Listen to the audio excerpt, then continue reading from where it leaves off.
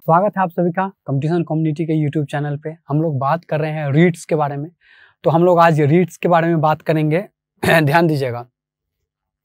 Reads जैसा कि हम लोगों ने पिछले बारे वीडियो में बात किया था आर्टिकल 32 के बारे में। हमने उसमें बताया था कि आर्टिकल 32 हमें कहता है कि अगर आपके फंडामेंटल राइट का उल्लंघन हो रहा है, मेरी बात को अच्छे तरीके से समझिएगा अगर आपके फंडामेंटल राइट का उल्लंघन हो रहा है तो आप सुप्रीम कोर्ट या हाई कोर्ट जा सकते हैं और सुप्रीम कोर्ट या हाई कोर्ट को इस बात का अधिकार है कि वो रीट जारी करे for the protection of fundamental right तो वही रीट हम यहाँ पे पढ़ने वाले हैं। इस बात को ध्यान रखिएगा, ठीक है?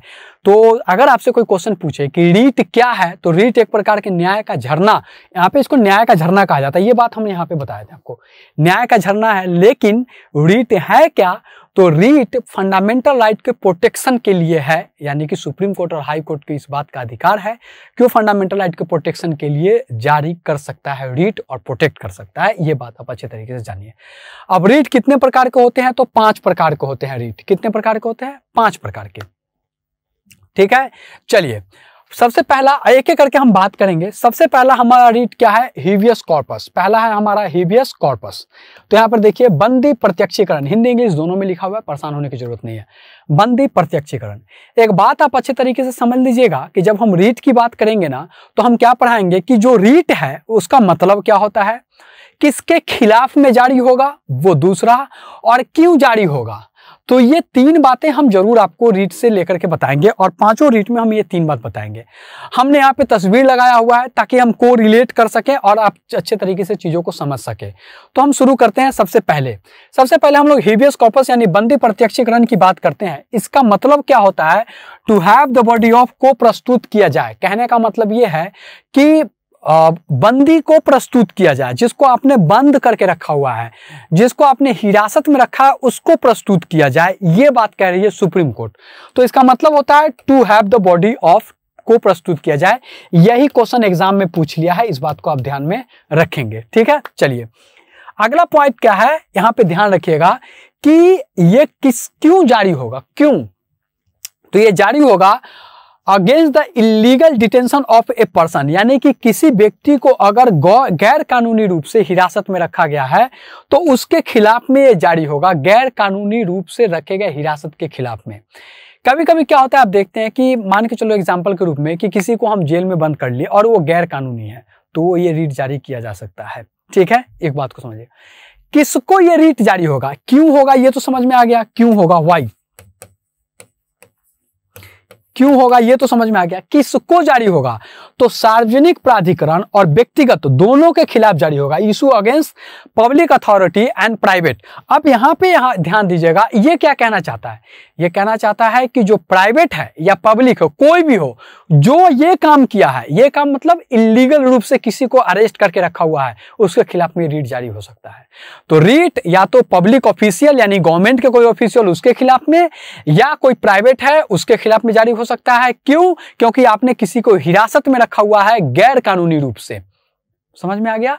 मतलब क्या है? मतलब है बंदी को यानी को प्रस्तुत किया जाए, सशरीर प्रस्तुत किया जाए, ये बात ध्यान में रखिएगा। अब ये जो फ़ोटो लगाया है, इसमें ये क्या कहना चाहता है? ये लड़की चिल्ला के कह रही है किसको? इस गवर्नमेंट के ऑफिशियल को। लेकिन आप देख रहे हैं, ये गवर्नमेंट के ऑफिशियल है ये। दिख रहा है ना आपको? तो ये गवर्नमेंट ऑफिशियल है। और इस लड़की को लेकर के जाया जा रहा है तो ये कह रही है चिल्ला करके, कहाँ लेके जा रहे हो? मेरे पास सुप्रीम कोर्ट है, और तुम गलत तरीके से हमको अरेस्ट किया है। तो हम आवाज़ उठाते हैं और सुप्रीम कोर्ट के कहते हैं कि हमको रिलीज़ करे, क्योंकि तुम गलत तरीके से हमको अरेस्ट किया है। Illegal illegal detention illegal detention गलत तरीके से आपने हमें अरेस्ट किया है तो गवर्नमेंट ऑफिशियल को कह रहा है कि आप गलत तरीके से हमको अरेस्ट किए हैं। ये लड़की चिल्ला चिल्ला के कह रही है और ये जानती है कि हम रिलीज़ हो जाएँगे क्योंकि हमारे साथ कौन है? सुप्रीम कोर्ट है, हमारे साथ हाई कोर्ट है, हमारे साथ आर्टिकल 32 है, फॉर द सुप्रीम कोर्ट हमारे पास आर्टिकल 226 है, फॉर द हाई कोर्ट. इस बात को अच्छे तरीके समझिएगा। तो ये हमारा हेवियस कॉर्पस है, यानी कि किसी को बंदी बनाने के खिलाफ में है, गलत तरीके से बंदी बनाने के खिलाफ में है। उसके बाद अगला हमारे पास जो रीट है वो है मैनमस, यानी परमादेश। ये परमादेश रीट क्या कहता है? ये कहता है, हम आदेश देते हैं बी कमांड हम आदेश देते हैं। किसको कहता है हम आदेश देते हैं? तो ये वही बात में, किसको और क्यों? तो किसको कहता है? तो गवर्नमेंट ऑफिशियल को कहता है कि हम आदेश देते हैं। क्या आदेश देते हैं? कि आप अपना ड्यूटी को परफॉर्म करें। आप जो अपनी ड्यूटी परफॉर्म नहीं कर रहे हैं, उसके वजह से फंडामेंटल राइट का उल्लंघन हो रहा है तो आप अपने ड्यूटी को परफॉर्म करें। इसलिए हम आपको आदेश देते हैं for the performance of your duty कि आप परफॉर्म करें। अब यहाँ पे फ़ोटो देखते हैं तो देखिए कितने भोले भोले बच्चे हैं, ठीक है? और ये कैसा सांड जैसा पैर रख करके सोया हुआ टीचर है। गवर्नमेंट का टीचर है स्कूल में अब गवर्नमेंट मैं मान लेता हूँ गवर्नमेंट का, क्योंकि गवर्नमेंट ऑफिशियल को जारी हो रहा है। स्कूल में पैर पे, पैर बेंच पे रख करके सोया हुआ है, भोले वाले बच्चे यहाँ पे बैठ के पढ़ रहे हैं और ये सो रहा है। लगता है रात वाला उतरा नहीं है इसको। कौन इसको इतना पिला देता है? कहाँ से पैसा लेके आता है? बिहार में तो दारू बंद है, पता नहीं किसी दूसरे स्टेट से लेके आ गया होगा। खैर, गुजरात में भी बंद है। खैर तो ये ऐसा करके सो रहा है, बात समझ में आ रहा है। तो इसको गवर्नमेंट कहती है कि हम तुमको आदेश देते हैं, supreme court sorry supreme court कहती है, हम तुमको आदेश देते हैं कि तुम अपना ड्यूटी सही तरीके से निभाओ, ये जो गोर उठा करके और कुत्ते की तरह सो रहा है, इसको आप अच्छे तरीके से ड्यूटी कीजिए और नहीं तो फिर क्या होगा? तुम सब समझ जाएगा, तुम्हारा भाँग का नशा जो है ना, सब उतर जाएगा। इस बात को आप अच्छे तरीके से समझ में आएगा। तो परमादेश है। किसको आदेश दे रहा है? गवर्नमेंट ऑफिशियल को। क्या करने के लिए? अपनी ड्यूटी को परफॉर्म करने के लिए। ये बात समझ में आ गया? चलिए, आगे बढ़ते हैं। सरसियोररी उत्प्रेषण सरसियोररी उत्प्रेषण। इसका मतलब क्या होता है? इसका मतलब होता है प्रमाणित होना या सूचित होना। यानी कि हमें प्रमाणित हो गया है या सूचित हो गया है। किससे प्रमाणित हो गया है? या तो सुप्रीम कोर्ट को हो गया है या हाई कोर्ट को हो रहा है। क्यों? क्योंकि रीट तो वही जारी करेगी। तो सरसियोररी क्या कहता है? प्रमाणित होना। प्रमाणित होना, सूचित होना सरसियोररी कहता है। मतलब क्या है? मतलब यह है कि ये मामलों के स्थानांतरण या रद्द आदेश को रद्द करने को लेकर के ये रीट इशू करता है। कौन इशू करता है? तो उच्च न्यायालय या उच्चतम न्यायालय अपने आ, आ, नीचे के न्यायालय को। अब मामला क्या है? वो देखिए। मामला ये है कि आपका सरसियोरी की बात करते हैं कि आपका जैसे मान के एग्ज़ाम्पल की बात करते हैं कि आपने किसी आ, ऐसे केस पे आदेश दे दिया है जिसके लिए आप आ, मतलब आप उसके लिए रिस्पॉन्सिबल नहीं थे। मतलब कि लोअर कोर्ट को हायर कोर्ट यानी सुप्रीम कोर्ट या हाई कोर्ट कहता है लोअर कोर्ट को कि आप ऐसे केस को हैंडल कर रहे हैं आप आपने ऐसे केस के ऊपर आदेश दे रहे हैं या अपना आ, आ, आ, क्या बोलते हैं डिसीज़न दे दिया है जो आपके जो कार्य क्षेत्रफल है या कार्य क्षेत्र है, उससे बाहर का है। तो आप उस आदेश को रद्द करें, यहाँ पे लिखा ना, आदेश को। आप उस आदेश को रद्द करें या, और उस मामले को स्थानांतरण करें। तो ये जो दिख रहा है, डाकिया, ये लेकर के जा रहा है मामला को। कहाँ से लेकर जा रहा है? तो छोटे कोर्ट से, यानी कि छोटे कोर्ट से मामला को कहाँ लेके जा रहा है? बड़े कोर्ट पे। बड़े कोर्ट पे लेके जा रहा है। मामला का स्थानांतरण हो रहा है। ये लेके जा रहा है। ठीक है? तो जो उत्प्रेषण है यानी सरसियोररी है वो मामले के स्थानांतरण को लेकर के है और आदेश के रद्द करने के लेकर है। तो क्यों आदेश का रद्द होगा? क्योंकि छोटे कोर्ट कोर्ट ने वैसे आ, आ, मामले के ऊपर आदेश दिया है जो मामला उसके कार्य क्षेत्र के बाहर का है। यानी कि अपने औकात से बाहर जाकर के फैसला दे दिया। तुम्हारा औकात इतना था तुम ऐसा कर लिया। तो नहीं तो ऊपर सुप्रीम कोर्ट कहता है तुम इसको कहा छू लिया? तुम तो इतने में रहो। तो इस आदेश को रद्द करो और मामला को स्थानांतरण करो। तो सरसियोरी आदेश को रद्द करने और मामले को स्थानांतरण करने के लिए बात कहता है, वैसे मामले जो आपके अधिकार क्षेत्र से बाहर का है। प्रोहिबिशन प्रतिषेध। अब प्रतिषेध क्या कहता है, वो देखना। प्रतिषेध कहता है मना करना, यानी कि रोकना या मना करना। क्या मना करना? तो फिर से किसको जारी होगा? तो छोटे कोर्ट को, यानी कि छोटे न्यायालय को। छोटे न्यायालय का मतलब सुप्रीम कोर्ट के लिए छोटा न्यायालय हाई कोर्ट होता है। हाई कोर्ट के लिए छोटा न्यायालय अधीनस्थ कोर्ट होता है, जो सेशन कोर्ट वगैरह कहलाते हैं, जो ज़िले में होता है। वो, ठीक है ना? तो छोटे न्यायालय को ये आदेश जारी होता है। क्या आदेश जारी होता है? कि तुम अपने अधिकार क्षेत्र से बाहर के मामले को मत सुनो। जैसे एग्ज़ाम्पल ये मान के चलो कि छोटा न्यायालय है और ये एक, मान के चलो ये एनजीटी है। नेशनल ग्रीन ट्रिब्यूनल ठीक है? एक, एक ये भी एक तरीके का न्यायाधिकरण है आपको मालूम है। तो एनजीटी है नेशनल ग्रीन ट्रिब्यूनल और एनजीटी मामला किस पे दे रहा है? तलाक पे या डिवोर्स पे। डिवोर्स तो अब यहाँ पे देखिए ये ग्रीन ट्रिब्यूनल है यानी कि इसको पर्यावरण देखना है। पर्यावरण देखना है इसको पर्यावरण देखना है लेकिन ये मामला किसको क्या देख रहा है? डिवोर्स का। तो यहाँ पर ये क्या कह रहा है? सुप्रीम कोर्ट या बड़ा कोर्ट। अरे तुमको पर्यावरण देखने के लिए कहे थे, और तुम डिवोर्स का मामला देख रहा है, तुम्हारा दिमाग खराब है, भाँग पी लिया है, क्या किया है तुम? आए, कौन सा ऐसा नशा करता है तुम? कि तुम पगलाए हुए है है ना? तो कहता है कि तुम तुम अपना औकात में रहो। तुमको हम, तुमको मना किए है ना? तुमको मना किए कि अपने औकात से बाहर मत निकलो? तो बस यही। रोकना, मना करना, यानी कि प्रोहिबिशन प्रतिषेध, हम मना कर रहे हैं। क्या मना कर रहे हैं? उच्च न्यायालय द्वारा निम्न न्यायालय को जारी किया जाता है। क्या जारी किया जाता है? अपने न्याय क्षेत्र से आगे के कार्यों को रोकना। तुम्हारा न्याय क्षेत्र था पर्यावरण और तुम काम कर रहा है डिवोर्स का। तुम तुम पगलाए हो तो यहाँ पे प्रतिषेध है। प्रतिषेध क्या कहता है? मामले को, अपने अधिकार क्षेत्र के मामले को ही आप देखिए, उसके बाहर के मामले को नहीं देखिए। सरसियोरेरी क्या कहता है? मैं एक बार सरसियोरी पे पीछे चलता हूँ। सरसियोरेरी क्या कहता है? सरसियोरेरी कहता है कि तुमने अधिकार क्षेत्र से बाहर जाकर के मामले को देखा है तो उसको ट्रांसफ़र करो। दो बातें हैं। दोनों में बड़ा साधारण सा अंतर इसको समझिए। एक है कि तुमको मना करते हैं कि तुम अपने अधिकार क्षेत्र से बाहर मत जाओ। दैट इज़ प्रतिषेध प्रोहिबिशन और एक है कि अधिकार क्षेत्र से बाहर चला गया अब क्या होगा? तो अब तुम उसको आदेश को रद्द कर दो और मामला को हम तक पहुँचा दो, नहीं तो बहुत गड़बड़ कर देंगे। क्या कि तुम भाँग पी करके आदेश दिया है। बात समझ में आ गया कि नहीं आ गया? तो इसको समझिएगा तो सरसियोरी और प्रतिषेध इस दोनों में अंतर होता है, ठीक है? तो बड़ा साधारण सा अंतर है इस दोनों में, ठीक है ना? चलिए, आगे बढ़ते हैं। अगला है क्यो वारंटो, अधिकार परीक्षा। अधिकार परीक्षा क्या कहता है? तो अधिकार परीक्षा कहता है कि देखिए, आप किस अधिकार से बाय व्हाट अथॉरिटी आप किस अधिकार से मान के चलो कि ये यहाँ पे एक पोस्ट है, ठीक है, ये यहाँ पे एक पोस्ट है, और इस पोस्ट पे ये इस गद्दी पे बैठेगा कोई, इस पे बैठेगा। तो ये क्या कहता है, ये लड़का कहता है, हम यहाँ बैठेंगे। और ये लड़की क्या कहती है, तुमको हम बैठने नहीं देंगे। तुम तुम कैसे बैठेगा? ये कहता नहीं, हम बैठेंगे। और ये कहता हम बैठने नहीं देंगे। तो ये कहता है, ये ये लड़की कहती है, तुम किस अधिकार से यहाँ बैठोगे? बाय व्हाट अथॉरिटी किस अधिकार से यहाँ बैठोगे? ये कहता है, ये ये ये कहती है लड़की, इसको। तो यहाँ पे सुप्रीम कोर्ट क्या करेगा, जब इस दोनों में ऐसा खींचाता नहीं चल रहा है, मान के चलो कि ये एसएससी है, या union public service commission, UPSC है, ये अपने आप में एक यूपीएससी है। और ये एक पोस्ट के लिए लड़ रहा है। कहता है कि हमको एक पोस्ट चाहिए। इस, ये कुर्सी वाला आईएएस का पोस्ट चाहिए। और ये लड़, ये यूपीएससी यानी ये लड़की कह रही है कि हम तुमको आईएएस का पोस्ट कैसे दे दे? किस अधिकार से दे दे? तो ये मामला चला गया कोर्ट पे। अब कोर्ट पे चला गया तो सुप्रीम कोर्ट का क्यू वारंटी जारी किया। और क्यू वारंटो किसको जारी किया? यूपीएससी को। यूनियन पब्लिक सर्विस कमीशन को, इस लड़की को जारी किया। क्या जारी किया? कहा कि, अरे किस अधिकार से आप इसको रोक रहे हैं?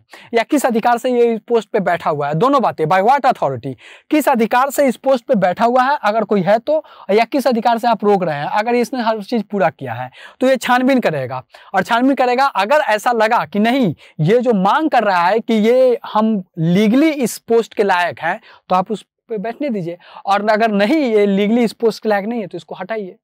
तो क्यू आर अंटो क्या कहता है? It is issued by the court to inquire into legality of claim of person to public office क्या बोला? मतलब कि क्लेम ऑफ़ ए पर्सन ये पर्सन जो क्लेम कर रहा है कि हम इस कुर्सी पे बैठेंगे और ये मना कर रही है तो ये इंक्वायर करने के लिए ये अधिकार परीक्षा जारी होता है। यानी कि सुप्रीम कोर्ट कहेगा यूपीएससी को कि भैया, वो बैठना चाह रहा है, तुम कहे मना कर रहे हो? तो सुप्रीम कोर्ट अपना कुछ ना कुछ बात बोलेगा ना तो कहेगा कि क्यू आर के द्वारा, ठीक है, जांचो। जांचो, वो क्या कह रहा है? अगर कह रहा है कि नहीं, हम बैठने लायक हैं तो उसको बैठाओ। और नहीं है तो फिर उसको भगाओ। ठीक है? यही बात यहाँ पे कह रहा है, यानी कि पोस्ट पे किस अथॉरिटी से तुम बैठोगे, वो कह रहे हैं, ये यूपीएससी है और ये कैंडिडेट है। क्यू आर तो आप देख लिए कि यहाँ पर रीट के बारे में हम लोगों ने बात किया, ठीक है? तो रीट पाँच होते हैं। पहला हम लोगों ने किसके बारे में बात किया था? मैं एक एक करके सबके बारे में बात कर लू। पहला हिबियस कॉर्पस उसके बाद अधिकार परीक्षा को प्रस्तुत किया जाए। उसके बाद दूसरा हम लोगों ने किसके बाद किया था? मैनमस परमादेश हम आदेश देते हैं कि अपने परफॉर्मेंस अच्छे से करो। सरसियोरेरी किसको जारी होता है? उच्च न्यायालय को जारी होता है। किस लिए? क्योंकि तुमने अधिकार क्षेत्र से बाहर जाकर के आदेश दिया, उसको रद्द करो और उस उस उस आदेश को, यानी उस केस को हम पर ट्रांसफ़र करो। उसके बाद प्रोहिबिशन यानी प्रतिषेध, हम तुमको मना करते हैं कि तुम अपने औकात से बाहर जाकर के काम नहीं करो।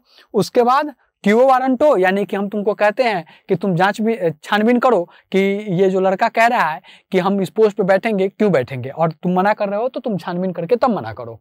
ठीक है तो ये हो गया क्यों वारंटो अधिकार परीक्षा। इस बात को ध्यान में रखिएगा। तो ये आपके पाँच रीट है। यहाँ से एग्ज़ाम के क्वेश्चन आते हैं। इसको आप अच्छे तरीके से देखिएगा। इसको अच्छे तरीके से आप एक बार समझिएगा। ठीक है ना? ये आर्टिकल 32 के अंतर्गत ये रीट्स के बारे में हम लोगों ने बात अभी किया है।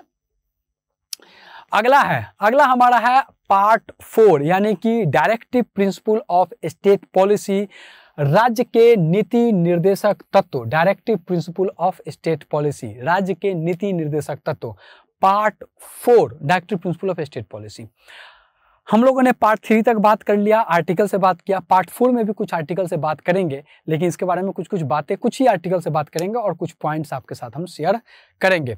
चलिए ठीक है डीपीएसपी की बात, सबसे पहले तो एग्ज़ाम में यही क्वेश्चन पूछ लेता है कि डीपीएसपी कौन से पार्ट के अंतर्गत है? तो पार्ट फोर के अंतर्गत डीपीएसपी है। सबसे पहले एग्ज़ाम में यही क्वेश्चन पूछ लेता है। फिर दूसरा क्वेश्चन हमारा है कि कौन से आर्टिकल के अंतर्गत आता है? तो 36 से 51 के अंतर्गत आता है। और ये कहाँ से लिया गया है? तो आयरलैंड से। जैसा कि हम लोगों ने बात किया था कि फंडामेंटल राइट कहाँ से लिया गया है? तो यूएसए से लिया गया था फंडामेंटल राइट ये कहाँ से लिया गया है? तो आयरलैंड से लिया गया है डीपीएसपी अब यू फंडामेंटल राइट के बारे में हमने बात किया था कि ये जुडिशियल है, यानी कि ये न्याय योग्य है। अगर फंडामेंटल राइट का उल्लंघन होता है तो आप सुप्रीम कोर्ट या हाई कोर्ट में जा सकते हैं, ऐसा हम लोगों ने बात किया था। लेकिन जब हम बात करते हैं डीपीएसपी का तो डीपीएसपी न्याय योग्य नहीं है। आप इसके उल्लंघन में आप सुप्रीम कोर्ट या हाई कोर्ट नहीं जा सकते हैं तो ये न्याय योग्य नहीं है। तो पहला अंतर हो गया। दूसरा बात यह है कि डीपीएसपी जो है ना, एक कल्याणकारी राज्य की अवधारणा को प्रस्तुत करता है। कल्याणकारी राज्य की अवधारणा। ये कल्याणकारी राज्य की अवधारणा क्या है? तो ये डीपीएसपी ये कहता है कि हम जो भी नियम बता रहे हैं, अगर उसको आप, ये ऑप्शनल है, ठीक है, ये ऑप्शनल है। फंडामेंटल राइट ऑप्शनल नहीं है, वो आपको करना ही है। मतलब उस पर आपको बाई फोर्सली है कि नहीं फंडामेंटल राइट का इम्प्लीमेंटेशन करना एकदम ज़रूरी है, नहीं तो आर्टिकल 32 हमारे पास है। लेकिन ये ऑप्शनल है। ऑप्शनल का मतलब क्या है कि ये कहता है कि अगर हमारे द्वारा सुझाए गए नियम कानून को आप अपने नीतियों में इंप्लीमेंट करते हैं तो देश अच्छे तरीके से चलेगा, यानी कि स्टेट का डेवलपमेंट होगा, ये कहता है। तो एक कल्याणकारी राज्य की बात करता है, यानी कि वेलफेयर स्टेट की बात करता है। कौन? डीपीएसपी और ये क्वेश्चन एग्ज़ाम में कई बार आया है, कई बार ये आया है डीपीएसपी के बारे में कि ये वेलफेयर स्टेट के बारे में बात करता है। ये बात समझ में आ गया। अब हम लोग बात करते हैं कि दोनों में अंतर क्या है, जो ऐसा कि हमने यहाँ पे लिखा है। इंग्लिश में ही लिखा है, वो अंतर को बहुत ज़्यादा समझने की ज़रूरत नहीं है। तो फंडामेंटल राइट जहाँ तक निगेटिव है, जबकि डीपीएसपी क्या है, पॉजिटिव है। निगेटिव और पॉजिटिव का मतलब क्या होता है? तो निगेटिव का मतलब ये होता है कि फंडामेंटल राइट में कहा गया है कि आप ये करने से नहीं रोक सकते हैं, आप ये बोलने से नहीं रोक सकते हैं, यहाँ वहाँ जाने से नहीं रोक सकते हैं, ये नहीं कर सकते हैं, वो नहीं कर सकते हैं, ऐसा करके। किसको कहा है? स्टेट को। और डीपीएसपी पॉजिटिव है। किस लिए पॉजिटिव है? क्योंकि डीपीएसपी में कहता है स्टेट को, आप ये कीजिए, आप वो कीजिए। जैसे समान काम के लिए समान वेतन दीजिए, स्टेट को कह रहा है। जैसे ग्राम पंचायत के गठन की बात कीजिए, जैसे न्यूट्रिशन को बढ़ाने का काम कीजिए, जैसे जो नशा है उसको समाप्त करने का काम कीजिए। तो ये कहता है ये पॉजिटिवली कि आप ये ये कीजिए। किसको कहता है? स्टेट को कहता है, स्टेट को कहता है। और ये कहता है निगेटिवली ये ये काम आप नहीं कर सकते हैं। किसी को जाने आने से नहीं रोक सकते हैं, किसी को असेंबल होने से नहीं रोक सकते हैं। व्यक्ति की स्वतंत्रता है, समानता है, आप आप सरकारी नौकरी में भेदभाव नहीं कर सकते हैं। तो ये निगेटिव है, किसके लिए? तो स्टेट के लिए। तो यहाँ मना होता है, यहाँ पर करने के लिए कहा जाए। इसलिए ये निगेटिव है और ये पॉजिटिव नेचर में है। दूसरा है fundamental right concern about political justice यानी कि यहाँ पे पॉलिटिकल जस्टिस की बात है while DPSP are concern more about social and economic justice अब फंडामेंटल राइट क्या है कि पॉलिटिकल जस्टिस की बात करता है, यानी कि राजनीतिक जो न्याय है, उसके बारे में बात करता है। ठीक है, राजनीतिक रूप से आपको क्या क्या न्याय मिलना चाहिए? राजनीति क्या नहीं, क्या रोक नहीं सकती आपको? और डीपीएसपी क्या कहता है? सामाजिक रूप से उत्थान कैसे होगा? आर्थिक रूप से उत्थान कैसे होगा? समान काम का समान वेतन हमने बताया, ठीक है? या न्यूट्रिशन सामाजिक रूप से हुआ, ठीक है? तो ये कैसे होगा? इसको लेकर के बात करता है।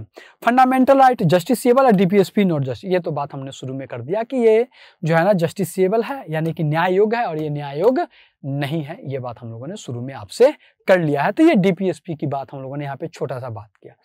अब हम देखते हैं आर्टिकल चूँकि 36 से 51 है तो इसके आर्टिकल को बात करते हैं। यहाँ पे एक बात देखिएगा, ऊपर में मैंने कुछ बात लिखा है, ये कभी कभी एग्ज़ाम के क्वेश्चन बन जाते हैं कि डीपीएसपी के कौन कौन से आर्टिकल समाजवादी है कौन कौन सा आर्टिकल गांधी जी के जो विचार है उसके ऊपर में डिपेंड है या उसके ऊपर हिसाब उसके ही आधार पे है और कौन कौन से आर्टिकल है जो लिबरल है, जो कि लिबरल है उदारवादी है। तो गांधी जी के विचारों पर एग्ज़ाम में क्वेश्चन कई बार पूछा है कि कौन ऐसा आर्टिकल है जो गांधी, गांधीयन थ्योरी के ऊपर बेस्ड है? गांधी जी के जो विचार है उसके ऊपर में आधारित है। तो 40, 43, 43 बी 46, 47, 48 ये सारे आर्टिकल यहाँ पे लिखा हुआ है ठीक है? और लिबरल यानी उदारवादी क्या है? अच्छा सबके पीडीएफ आपको मिल जाएँगे ठीक है? 44, 45, 48, 48 ए 49, 50, 51 और सोशलिस्ट कौन है? 30, 38, 38, 39, 39 ए 41, 42, 43, 43, 47 ठीक है? तो इस बात यहाँ पे दो दोनों एक जगह आ गए सोशलिस्ट और गांधीन भी एक जगह आ गए। चलिए, कोई दिक्कत नहीं तो इस बात को आप ध्यान में रखिएगा। और आपको हम एक बात और बता दें कि आप चाहे किसी भी एग्जामिनेशन के लिए तैयारी कर रहे हैं, हम जो आपको पढ़ा रहे हैं, वो सारे एग्जामिनेशन के लिए वैलिड है। चाहे किसी भी एग्जामिनेशन के लिए आप तैयारी कर रहे हैं स्टेट के लिए कर रहे हो एसएससी के लिए कर रहे हो, रेलवे के लिए कर रहे हो, चाहे किसी एग्जामिनेशन कर रहे हो जहाँ से पॉलिटिकल साइंस का क्वेश्चन पूछेगा, जहाँ से डीपीएसपी का क्वेश्चन पूछेगा, वहाँ पे ये वैलिड होगा, वहीं पर ये काम आ जाएगा। इसलिए आप ये मत सोचिए कि ये एग्ज़ाम का नहीं, वो एग्ज़ाम का, वो एग्ज़ाम का नहीं, ये एग्ज़ाम का। जो भी बच्चे देखते हैं, बड़े गौर से देखिएगा।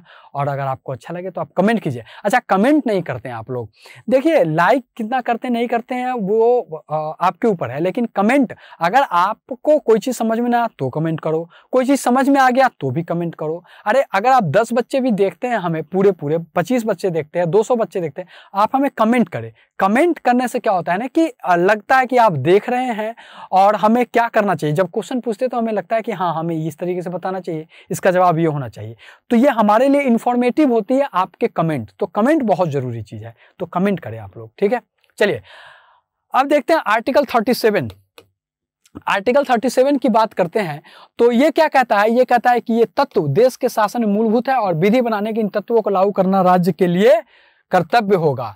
मतलब कि जो बात हमने शुरू में किया कि ये कल्याणकारी राज्य की अवधारणा की बात करता है और ये कहता है कि जो भी नियम हम आपको बताएँगे, अगर वो आप अपने नीतियों में समाहित करेंगे तो वो आपके लिए अच्छा होगा। ये बात आर्टिकल 37 कहता है कि the principle therein lay down are nevertheless fundamental in the governance यहाँ पे फंडामेंटल इन द गवर्नेंस काट करके एग्ज़ाम का क्वेश्चन बना दिया। क्या क्वेश्चन बना दिया है कि कौन सा आर्टिकल या कौन से पार्ट या कौन सा इनमें से भारत सरकार की नीतियों के लिए फंडामेंटल है, मौलिक है तो डीपीएसपी क्योंकि आर्टिकल 37 क्या कहता है?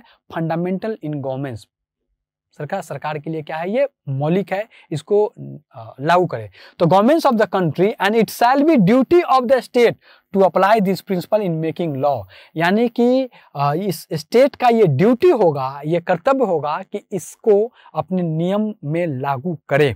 ठीक है? अगर नहीं लागू करेगा तो ऐसा नहीं है कि आप सुप्रीम कोर्ट चले जाएँगे, क्योंकि मैंने पहले कहा कि ये जस्टिसबल नहीं है।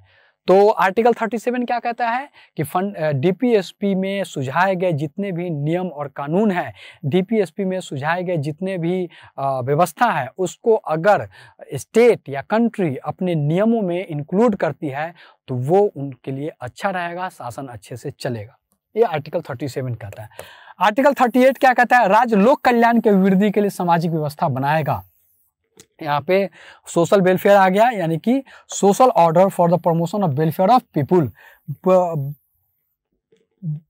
मतलब लोगों के वेलफेयर के लिए कानून बनाएगा, लोगों के वेलफेयर के लिए सरकार काम करेगी, ये आर्टिकल 38 कहता है। अभिवृद्धि के लिए सामाजिक व्यवस्था बनाएगा, काम करने का मतलब यही होता है। चलिए अब यहाँ पे बात करते हैं आर्टिकल 39 एग्ज़ाम का क्वेश्चन पूछा है, जो कि बात मैं पहले करते आ रहा हूँ। स्त्री और पुरुष सभी को समान रूप से जीविका के लिए प्राप्त साधन करने का अधिकार। चाहे स्त्री हो पुरुष हो, अगर जीविका चलाना है तो समान रूप से साधन प्राप्त करने का अधिकार उनको है। तो ये फंडामेंटल राइट तो नहीं है, लेकिन फंडामेंटल राइट से अलग एक तरीके का अधिकार है। तो कभी कभी पूछ लिया जाता है कि फंडामेंटल राइट से अलग एक जो विशेष अधिकार है, वो कौन सा है? तो आर्टिकल 39 के ए के अंतर्गत जो अधिकार दिया गया है। दूसरा अधिकार हालाँकि अधिकार तो नहीं है ये लेकिन एक तरीके का आ, क्या बोलते हैं स्त्री और पुरुष की समानता की बात की गई है फंडामेंटल राइट से अलग। डी क्या कहता है पुरुष और स्त्री दोनों को समान कार्य के लिए समान वेतन।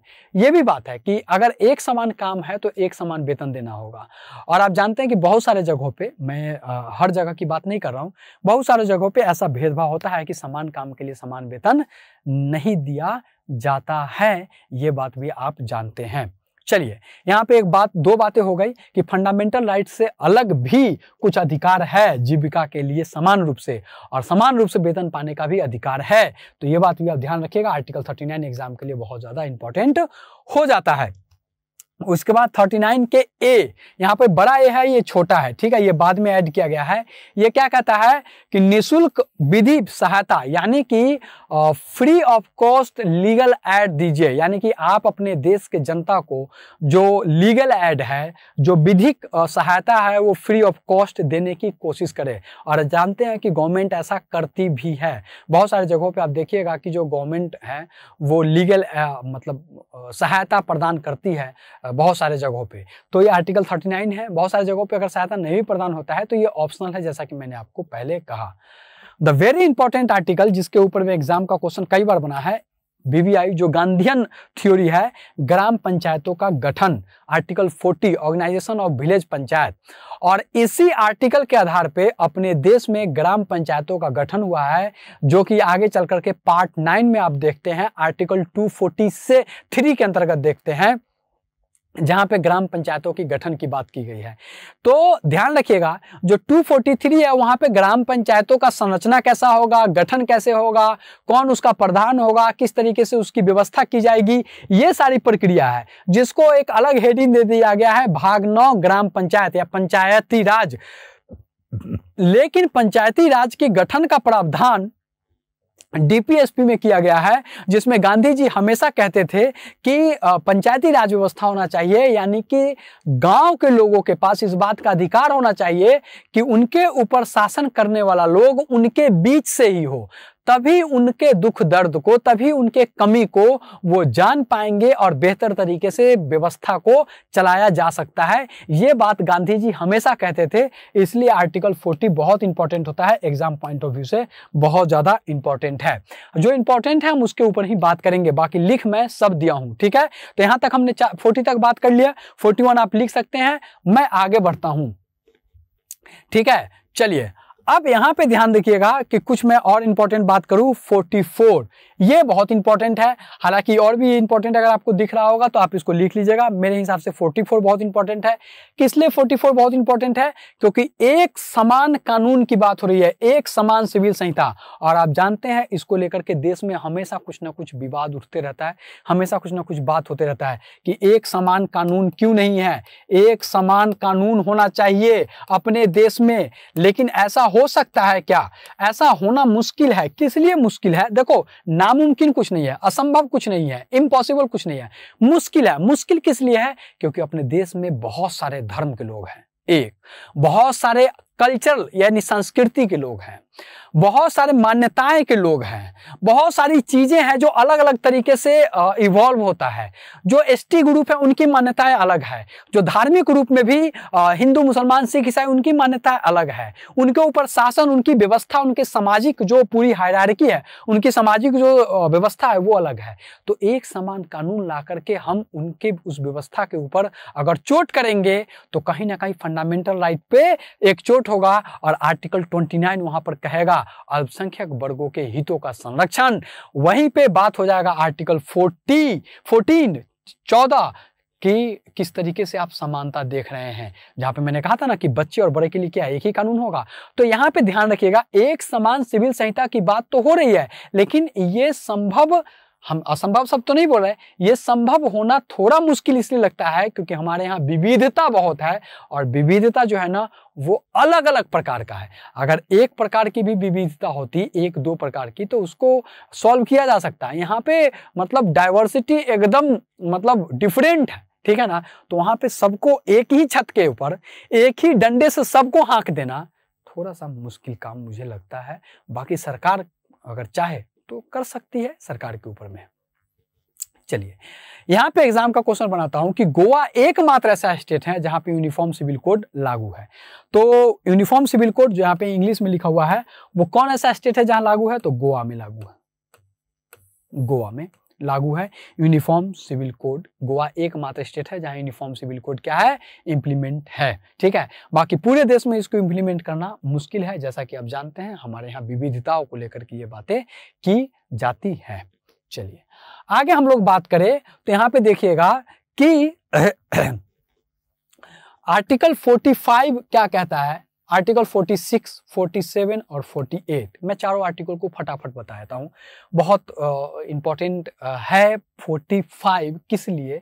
क्योंकि मैंने आपको कहा था कि फंडामेंटल राइट में एक चीज़ जोड़ा गया था छियासीवें संविधान संशोधन से, और वो क्या था? राइट टू एजुकेशन यानी कि मैं लिख देता हूँ एजुकेशन राइट टू एजुकेशन जोड़ा गया था छियासीवें संविधान संशोधन से, ये बात समझ में आ गया। और उसके बाद मैंने आपको कहा था कि इसी छियासीवें संविधान संशोधन से फंडामेंटल ड्यूटीज़ में ग्यारहवा ड्यूटीज़ जोड़ा गया था इलेवन ड्यूटीज़ जो यही है। हालाँकि वो हम आपको बताएँगे। और यहाँ पर भी छह वर्ष से कम उनके बालकों के शिक्षा का प्रावधान किया गया है। तो अगर आपसे पूछा जाए कि शिक्षा का जो प्रावधान है वो कौन, कहाँ कहाँ है तो फंडामेंटल राइट में भी है, फंडामे डीपीएसपी में भी है और फंडामेंटल ड्यूटीज़ में भी है। फंडामेंटल राइट में 21 का ए 21 का ए, डीपीएसपी में 45 और फंडामेंटल ड्यूटीज़ में eleventh duty of fundamental duties. Article है 51 का ए। मेरी बात समझ में आ रहा है। तो छह वर्ष से कम उम्र के आयु के बालकों को शिक्षा को लेकर के बात की गई है। यानी कि बच्चों के शिक्षा को लेकर के, शिक्षा को लेकर के तीन जगह हमारे संविधान में बात की गई है और बहुत ही स्ट्रांगली बात की गई है। बात समझ में आ गया? चलिए, आगे हम लोग बात करते हैं। Promotion of educational and economic interest of schedule caste schedule tribes and other weaker section यानी कि अगर कोई बीकर सेक्शन है, कोई कमज़ोर ऐसा वर्ग है तो उसके इकोनॉमिक इंटरेस्ट को, यानी कि उनके शिक्षा और अर्थ अर्थ मतलब आर्थिक संबंधी जो अभिवृद्धि है, उसको लेकर के सरकार कुछ कानून बना सकती है, सरकार उसको लेकर के कुछ स्टेप ले सकती है। और इसी स्टेप को लेकर के लिए आप यहाँ पर देख रहे हैं कि जगह जगह पे जगह जगह पे सरकार जो है ना, खास करके स्टेट गवर्नमेंट अपने यहाँ बाहरी लोगों को मना कर रहा है। आप सुने होंगे कि हरियाणा कहता है कि हम सेवेंटी परसेंट जो रिजर्वेशन है नौकरी में, वो अपने लोगों को देंगे। झारखंड कहता है कि हम अपने लोगों को नौकरी देंगे। आंध्र प्रदेश कहता है कि हम अपने लोगों को ज़्यादा नौकरी देंगे। तो ये क्या है? अपने लोगों को सुरक्षा देने के लिए ये काम किया जा रहा है। अब आप कहें कि अपने लोगों में अनुसूचित जाति जनजाति, अन्य दुर्बल वर्ग। अब अनुसूचित जाति, जनजाति का ना भी हो, अन्य दुर्बल वर्ग कहने में उनको समय थोड़ी लगेगा कि अन्य दुर्बल वर्ग है। तो कानून तो यहाँ बन गया लूप होल भी दिखाई दे रहा है, हमको दिख रहा है तो बड़े बड़े लोगों को क्यों नहीं दिख रहा होगा? तो पॉइंट सिंपल है कि आर्टिकल फोर्टी के अंतर्गत जो है ना, ये लोग कह रहे हैं कि हमारे यहाँ इतने परसेंट लोगों को ही बाहरी लोगों को काम नहीं देंगे, हम अंदर वाले लोगों को ही काम देंगे। तो ये बात कानून बना सकती है स्टेट। हालाँकि सुप्रीम कोर्ट वहाँ पर नज़र रखे हुए रहता है तो इस बात को ध्यान रखिएगा कि कोई भी कानून सुप्रीम कोर्ट के जो न्यायिक अधिकार है, जिसको बोलते हैं ना कि सुप्रीम कोर्ट का एक पूरा का पूरा राइट्स है, उससे बाहर नहीं जा सकता है, जिसको आप रिव्यू कहते हैं जुडिशियल रिव्यू न्यायिक पुनर्विलोकन से बाहर नहीं जा सकता है। तो सुप्रीम कोर्ट हाई कोर्ट उस पर कभी कभी रोक वोक भी लगा देती है, लेकिन यहाँ पे राइट्स है। मतलब राइट तो नहीं कह सकते हैं यहाँ पे ये ऐसा कर सकती है, ये डीपीएसपी में।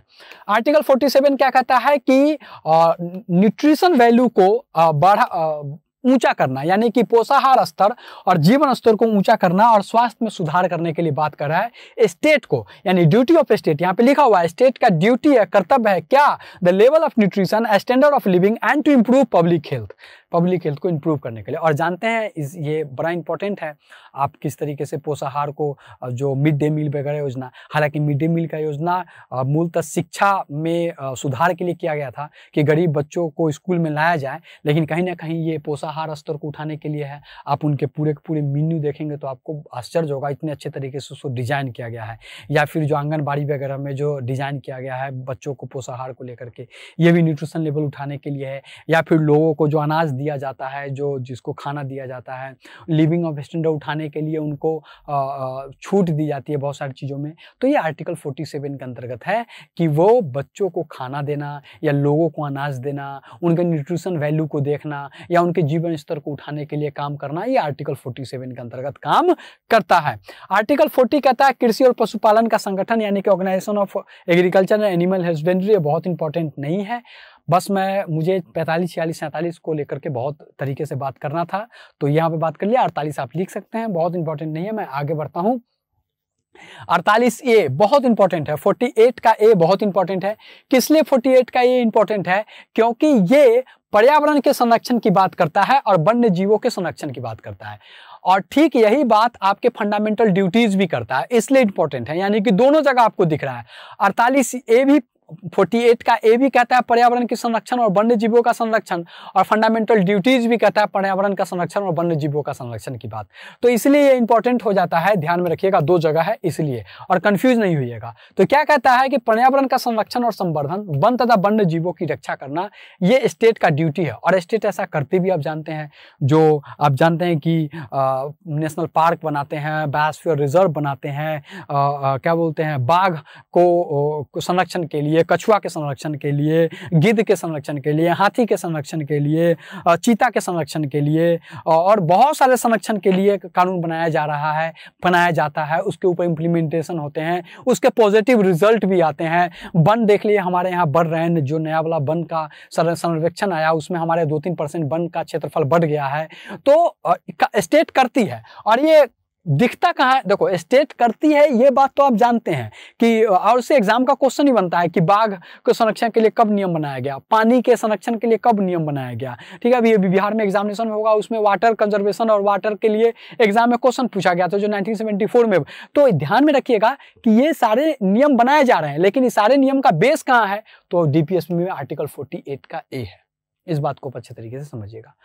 49 क्या कहता है? राष्ट्रीय महत्व के स्मारकों और स्थानों को वस्तुओं का संरक्षण। ये भी बात स्टेट करती है। आप जानते हैं कि किस तरीके से राष्ट्रीय महत्व के वस्तुओं का लाल किला की सुरक्षा करना लाल किला तो जानते हैं वहाँ से हम झंडा फहराते हैं हमारे प्रधानमंत्री और आ, क्या बोलते हैं ताजमहल की सुरक्षा करना या जितने भी मोनूमेंट्स हैं अजंता की गुफाओं का सुरक्षा करना एलोरा की गुफाओं का सुरक्षा करना मदुरई के मीनाक्षी मंदिर का सुरक्षा करना या फिर भिम्बेटका का सुरक्षा करना जो भारत का सबसे पुराना जो वहाँ पे केव आर्ट है पेंटिंग है मध्य प्रदेश में, उसकी सुरक्षा करना। या भारत में जितने भी जहाँ भी मोनूमेंट्स हैं, मंदिर है, मस्जिद है, या जो भी पुराने हैं, या नए बनाए गए हैं, सबकी सुरक्षा करना। तो ये स्टेट ये करती है। करती है इसको बहुत ही बेहतरीन तरीके से करती है। आप इसको कभी किसी मोनूमेंट्स में आप घूमने के लिए जाएँगे, आपको वहाँ पर दिख जाएगा सीआईएसएफ के जवान दिख जाएँगे, वहाँ पे आपको गवर्नमेंट के ऑफिशियल दिख जाएँगे, हो सकता है टिकट काटते हुए आपको दिख जाएँगे, क्योंकि अंदर जाने के लिए टिकट लगता है, उस पैसे से वहाँ का संरक्षण किया जाता है। तो ये सारे संरक्षण का जो अलग अलग उपाय है वो सारे किया जा रहे हैं, वो आर्टिकल फोर्टी के तहत। आर्टिकल 50 क्या कहता है? ये कहता है कि कार्यपालिका से न्यायपालिका का पृथकीकरण आर्टिकल 50 ये है हमारे यहाँ। आप जानते हैं कि हमारी जुडिशरी बिल्कुल इंडिपेंडेंट है तो आर्टिकल 50 अपने आप इम्प्लीमेंट हो जाता है। कि हमारा जुडिशरी जानते हैं, बिल्कुल इंप्लीमेंट इंडिपेंडेंट है। Supreme court high court session court और ये बिल्कुल इंडिपेंडेंट है, स्वायत्त है सेल्फ रेगुलेटेड है ऑटोनोमस बॉडी है, यहाँ पे हर चीज़ उसके मन से होता है। आप जानते हैं सुप्रीम कोर्ट हाई कोर्ट बनाए, पढ़ाएँगे तो हम आपको बताएँगे कि किस तरीके से एनजैक लाया गया था। और उसमें कहा गया था कि सरकार जो है ना हस्तक्षेप करेगी न्यायपालिका के जो जज है उसका नियुक्ति के लिए। लेकिन वहाँ पर न्यायपालिका इसको मना कर दिया, कहा कि नहीं, ऐसा नहीं हो सकता है। तो उस एनजैक का यानी निन्यानवे संविधान संशोधन उसको निरस्त कर दिया गया। तो ये कहीं ना कहीं कहता है पचासवा की हम बिल्कुल पृथक पृथक है, हमको कार्यपालिका से कोई मतलब नहीं है और इंडिपेंडेंटली हम अच्छे तरीके से काम कर रहे हैं। और ये करना ज़रूरी है, क्योंकि कार्यपालिका न्यायपालिका एक साथ हो जाएँगे तो पकड़ेगा कौन कार्यपालिका की गलती को? नहीं समझे क्या? तो यहाँ पे अलग होना बहुत ज़रूरी है तो इसको आप एक बार समझिएगा अच्छे तरीके से।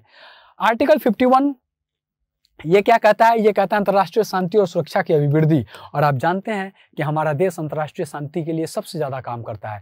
पूरे दुनिया में सबसे ज़्यादा जो शांति सेना है, वो हमारे देश से जाते हैं। यूएनओ में सबसे ज़्यादा शांति सेना हमारे देश का है। अभी हम यूएनओ के अस्थायी जो अस्थायी मेंबर भी हैं अभी हम यूएनओ के, जो दो सालों के लिए होता है। तो हम बहुत ज़्यादा काम करते हैं शांति के लिए।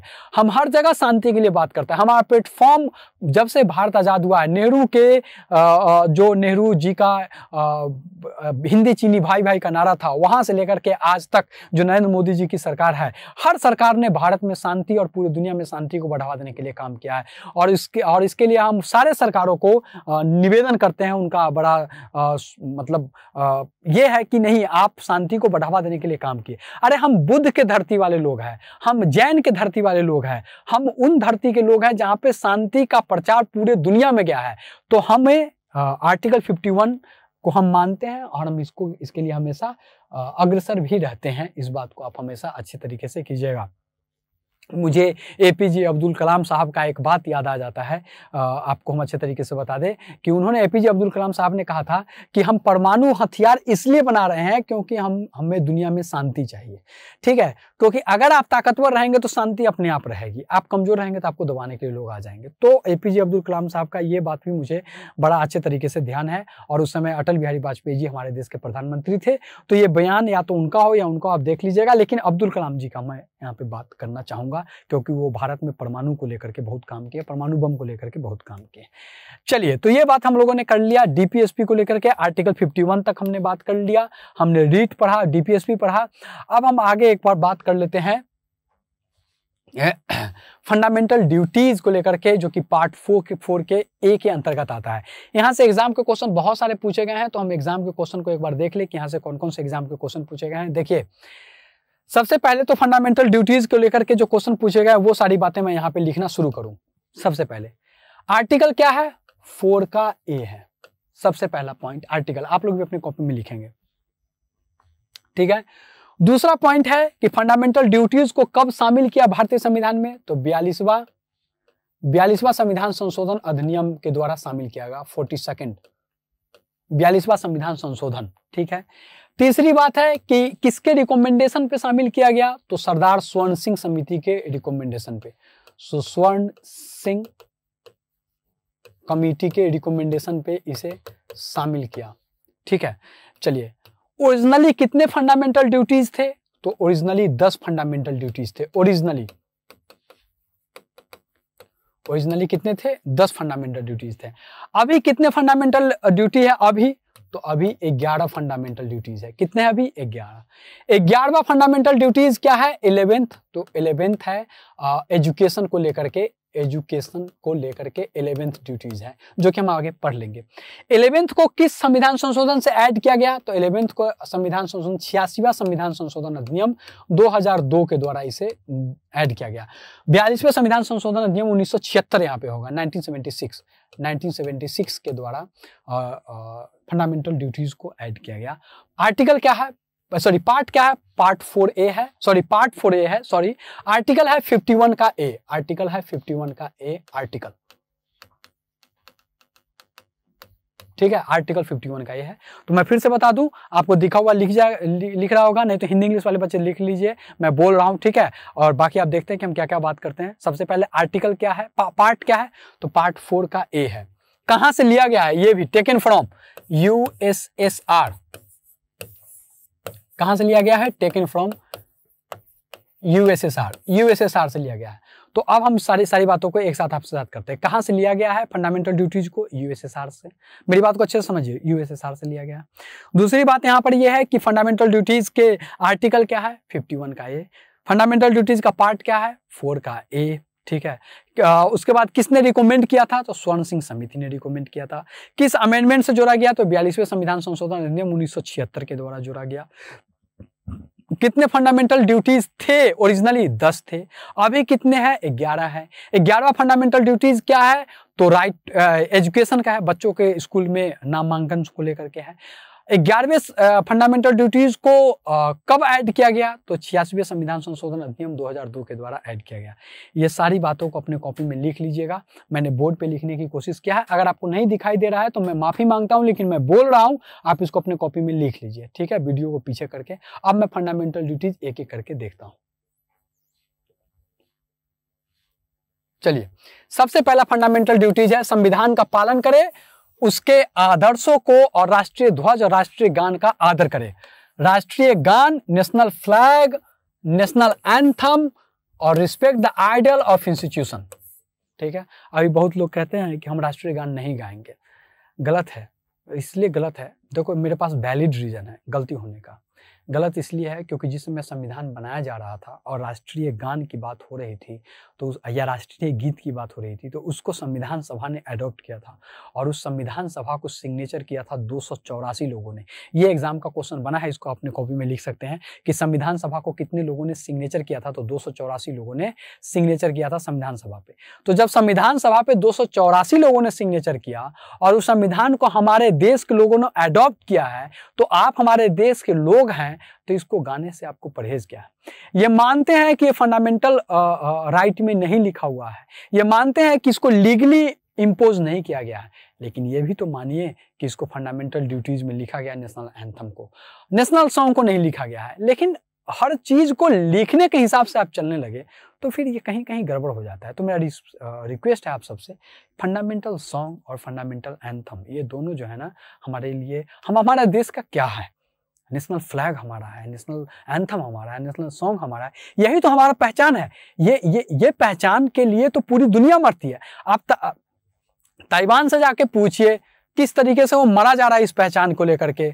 आप आप जाकर के इसराइल और फिलिस्तीन में लड़ाई फिलिस्तीन से पूछिए किस तर, किस तरीके से वो मरा जा रहा है इस पहचान के लिए कि हमारा फ्लैग हो हमारा हमारा नेशनल सॉन्ग हो हमारा हमारा पूरी दुनिया जाने कि हम भी एक देश के रूप में एग्जिस्ट करते हैं। इनको देश के रूप में मान्यता देने के लिए तैयार नहीं है बहुत सारे लोग। तो ध्यान दीजिएगा हमारा है और हम मानते हैं और हम देश के लिए है देश हमारा है। ठीक है? चलिए दूसरा है to cherish and follow the noble ideal which inspire our national struggle of freedom यानी कि जो भारत के आज़ादी के, भारत के स्वतंत्रता संघर्ष के समय में जो हमारे विचार, जिस विचारों के ऊपर हमने आज़ादी पाई थी, उस विचारों को हम संजो के रखे। यानी कि स्वतंत्रता के लिए राष्ट्रीय आंदोलन प्रेरित करने वाले आदर्शों को हृदय में संजोए, उन आदर्शों को आदर्श क्या था? अहिंसा, सत्य, सत्याग्रह, राष्ट्रवाद ये आदर्श थे। राष्ट्रवाद के लिए मर मिटना ये आदर्श था। इन आदर्शों को लेकर के हम आगे बढ़ाएँगे। हमारा देश, हमारा सब कुछ है। चलिए, तीन, आपको बता दें, अगर देश से आप अलग हो गए तो आप कहीं के नहीं है। भारत की संप्रभुता, एकता और अखंडता की रक्षा करे और उसे अक्षुण बनाए रखे। ठीक है? भारत की पूरे संपूर्णता। अब ये नहीं कि भारत तेरे टुकड़े होंगे तो ये गलत है, ठीक है? अब देखिए, इसका लोग कहते हैं कि ये बात मत बोलो क्योंकि ये सुप्रीम कोर्ट, हालाँकि कन्हैया कुमार कई बार कह चुके हैं कि ये सुप्रीम कोर्ट में या कोर्ट का ये मानना है, या फिर आप एफआईआर दर्ज करें और फिर बहुत सारी लीगली कुछ कुछ बात करते हैं कन्हैया कुमार जी। तो मैं आपको बताता हूँ कि चलो ठीक है, वो लीगली बात करते हैं, वीडियो में भी जो दिखाया गया है, वो भी सुना है लोगों ने। तो मैं ये कहता हूँ कि अगर ऐसा कोई भी मामला हुआ है, अगर नहीं भी हुआ है तो भी अगर ये मामला उठा तो उठने में ही गलती है। मतलब ये ऐसा क्यों हुआ? क्यों क्यों हम भारत के एकता और अखंडता को तोड़ने की बात करेंगे? सरजिल इमाम एक इंसान है जो उस दिन वीडियो वायरल हुआ था जब दिल्ली में एक मामला चल रहा था, है ना? सीए और सी आर को लेकर के तो उन्होंने कहा था कि नॉर्थ ईस्ट को हम कट कर देंगे। अरे, आपके मन में ये बातें क्यों आती है? कैसे आप कट कर देंगे? आप आप सरकार से बड़े तो नहीं हो सकते। और फिर गवर्नमेंट और फिर आप अगर जनता है, आपके पास ताकत है, हम जानते हैं, जनता के पास बहुत ताकत होती है। इस संविधान को जनता नहीं अपनाया है। लेकिन पॉइंट यहाँ पर यह है कि एक अखंड भारत, एक अखंड कोई देश आपके लिए बेनिफिशियल है, हमारे लिए बेनिफिशियल है। हम सबकी प्रगति होगी तो हमारी प्रगति होगी। इस बात को भी आप मानिए, इस बात चलिए देश की रक्षा करे, फिर वही बात है, आह्वान किए जाने पर राष्ट्र की सेवा करे। राष्ट्र की सेवा, अब देखिए, राष्ट्र की सेवा को लेकर के लोग क्या समझते हैं कि बंदूक लेकर के हम बॉर्डर पे खड़ा हो गए, वही देश सेवा नहीं, वो देश सेवा नहीं है। आप कचरा नहीं फैलाए आप पानी गंदा ना करें, आप पॉल्यूशन नहीं करें। मेरी बात को समझ रहे हैं ना? आप आपस में झगड़ा ना करें। लिव इन हारमोनी हालाँकि आगे मिल जाएगा लिव इन हारमोनी ठीक है? तो ये सारे देश सेवा ही है, ये सारे देश सेवा ही आप अच्छे से पढ़ाई लिखाई करें, अपना नाम ऊँचा करें। आपका नाम ऊँचा होगा तो देश का नाम ऊँचा होगा। ये सब देश सेवा ही है, सब देश सेवा है ठीक है? सब देश सेवा है चलिए, ठीक है, आगे बढ़ते हैं। सभी लोगों में समरसता। यही बात आ गई ना, हारमोनी की बात आ गई। To promote harmony and spirit of common brotherhood समरसता और समान भातृत्व की बात कर रहा है। ठीक है सभी सभी। और ऐसी प्रथा का त्याग करने की बात हो रहा है, जो स्त्रियों के सम्मान के विरुद्ध हो। माने स्त्रियों के सम्मान की रक्षा करना भी आपका एक कर्तव्य है, ये भी बात आप समझ लीजिए। ठीक है तो स्त्रियों का सम्मान करे, भाईचारा के साथ रहे, भातृत्व के साथ रहे, आपका पांचवा ड्यूटीज़ है। छठा क्या कहता है कि संस्कृति और गौरवशाली के महत्व को समझे, हमारी जो परंपरा है हज़ारों सालों का। आप सुनेंगे कि हम पाँच हज़ार साल, अरे हम पाँच हज़ार नहीं, हम पचासों हज़ार साल पुराने देश हैं। आप पाषाण युग का बात कीजिए, आप पाषाण युग में देखिए भीमबेतका में वहाँ पे पेंटिंग मिला है, चालीस हज़ार पचास तो इतने हज़ारों साल पुराने हमारे यहाँ चीज़ तो हमारी संस्कृति बहुत हज़ारों साल पुरानी है। संस्कृति में हम सिर्फ़ हड़प्पा से जोड़ लेते हैं, हड़प्पा को पैंतालीस साल पुराना कहते हैं तो हम कहते हैं कि हड़प्पा से है, पाँच साल पुरानी संस्कृति। अरे पाँच नहीं पचास हज़ार साल पुरानी संस्कृति हमारी। हड़प्पा एकदम से कोई भगवान आके नहीं बना गया था, उससे पहले भी संस्कृति थी। जिसको ताम्रपाषाण संस्कृति कहा जाता था और वहाँ से हड़प्पा संस्कृति, कांस्युगीन संस्कृति बनी। ताम्रपाषाण से पहले पाषाण संस्कृति थी और वो सारे संस्कृति एक दूसरे से बन बन करके यहाँ तक आया है। तो हम पाँच हज़ार साल का, हम तो पचास हज़ार, हम तो लाखों साल पुरानी संस्कृति वाले लोग हैं। तो हम संस्कृति की गौरवशाली परंपरा को समझें और उसका परिरक्षण करें। हम वैसे लोग नहीं है जो कहीं कहीं से कोई आया, हमारा देश बना दिया। नहीं, हम पहले से बने बनाए हैं, बाहरी लोगों का सम्मान किया है और अपना बना लिया है। हम वैसे देश है। चलिए ठीक है। प्राकृतिक पर्यावरण जिसके अंतर्गत वन झील, जो कि बात हमने आपने कहा था आपको कि वन का सुरक्षा करना प्राकृतिक का संरक्षण करना, जो डीपीएसपी में हमने पढ़ा था, वही बात अड़तालीस ए में, वही बात यहाँ पे कह रहा है कि to protect improvement and natural environment including lake forest lake river wild life and have compassion of living creature जितने भी जीवित प्राणी है, सबके सुरक्षा की बात कर सबके लिए दया रखने की बात कर रहा है यह सातवां कहता है। यानी कि प्रकृति की सुरक्षा की बात कर पर्यावरण की सुरक्षा शिक्षा की बात कर रहा है। आठवां क्या कहता है? वैज्ञानिक दृष्टिकोण को डेवलप करे। वैज्ञानिक दृष्टिकोण को डेवलप करे। Scientific temper human and spirit of inquiry of reform यानी सुधार की भावना का विकास करे। ये नहीं कि अब जैसे मैंने आपको कहा कि हमारी परंपरा जो है ना, पचास हज़ार या लाखों साल पुरानी है और उस परंपरा का अभिवृद्धि करे, उसको आगे बढ़ाए, उसका उसका उसका, उसके ऊपर गर्व करे। ये बात यहाँ पे लिखा हो ना, गौरवशाली परंपरा। लेकिन इसका मतलब ये नहीं कि हम उस परंपरा में स्टैगनेंट हो जाए। मेरी बात को समझिए। अगर छठा कहता है कि हमारी परंपरा बहुत पुरानी है, उसको गौरव की बात है तो इसका मतलब ये नहीं कि हम उस पर स्टैग नहीं, यहाँ पे ठहर जाए। आठवां वही कहता है कि तुम ठहरो नहीं, तुम सुधार की भी बात करो, अपनी गौरवशाली परंपरा को देखो और सुधार की भी बात करो। अगर आपके परंपरा में गड़बड़ी है तो उसको सुधारो। अगर वैज्ञानिक दृष्टिकोण आपके परंपरा में नहीं है तो उसको सुधार लो। और अगर आपके परंपरा में वैज्ञानिक दृष्टिकोण है तो बेल एंड गुड है, उसको और बढ़ाओ। ठीक है? तो छठा जहाँ अपने परंपरा पे आपको गौरव साली एक इतिहास बताता है आठवां वही कहता है कि इसको सुधार भी करो और वैज्ञानिक सोच भी डेवलप करो, क्योंकि देश को आगे बढ़ाना है, आपको आगे बढ़ाना है, साइंस को आगे बढ़ाना है तो ये सारी चीज़ें आपको आगे बढ़ाना होगा। आठवां। नौवा क्या कहता है? नौवा कहता है कि सार्वजनिक संपत्ति की सुरक्षा करो और हिंसा से दूर रहो। रेलवे हमारी सार्वजनिक संपत्ति है। जितने भी सरकार की संपत्तियाँ हैं, वो हमारी सार्वजनिक संपत्ति है। वो हमारे ही पैसे से बनी हुई संपत्ति होती है। दरअसल क्या है, लोगों के मन में ये लगता है कि अरे, ये तो सरकार की संपत्ति है, हमारी तो नहीं हमारे जेब से तो कुछ गया नहीं।